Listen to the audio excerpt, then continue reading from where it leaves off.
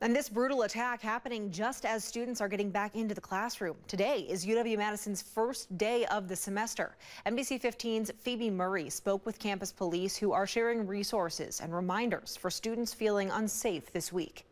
In light of recent events, safety is certainly top of mind for all students here on campus, and university police want to reinforce trusting your instincts and applying situational awareness whether that be on campus or off. Be aware of what's going on around you. Stay in uh, well-lit areas if you can at night. Um, use the buddy system. UWPD also just rolled out their Badger Safe app that they're encouraging every student, parent, and staff to download. Kirchman emphasizes that someone should always call or text 911 in an emergency.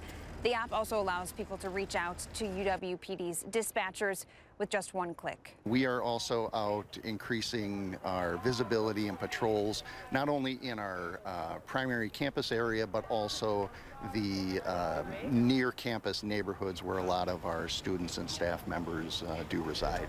And as a reminder, when it comes to downloading the Badger Safe app, be sure to turn on your push notifications both in the app and in your iPhone settings.